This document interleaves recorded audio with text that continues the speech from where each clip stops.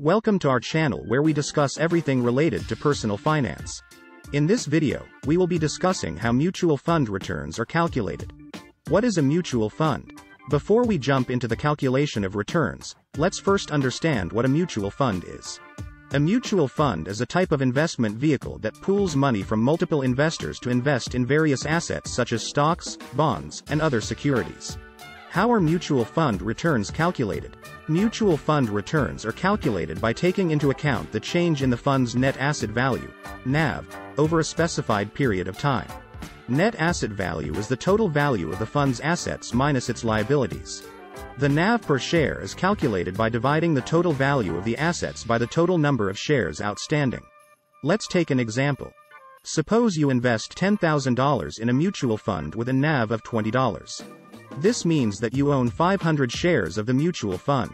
Now, let's say that the NAV of the mutual fund increases to $22 after one year. This means that the value of your investment is now $11,000, 500 shares x $22 NAV. To calculate the return on your investment, you need to subtract the initial investment amount from the final value of the investment, which is $1,000 in this case. Divide this number by the initial investment amount, $10,000, to get the return percentage, which is 10%.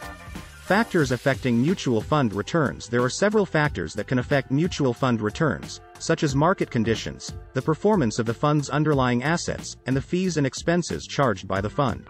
It's important to consider these factors when evaluating the performance of a mutual fund. Conclusion. In conclusion, mutual fund returns are calculated based on the change in the fund's net asset value over a specified period of time. While there are several factors that can affect mutual fund returns, understanding how they are calculated can help you make informed investment decisions. We hope you found this video helpful. Don't forget to like and subscribe to our channel for more informative videos on personal finance.